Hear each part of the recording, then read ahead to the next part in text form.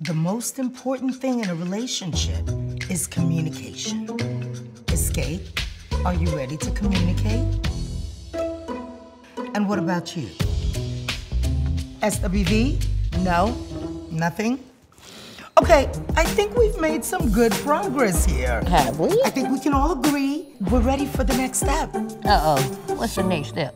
Well, I'm glad you asked.